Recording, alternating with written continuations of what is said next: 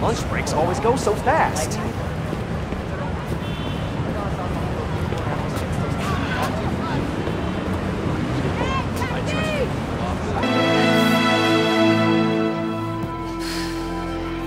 Love seeing you two together again. You always were my favorites.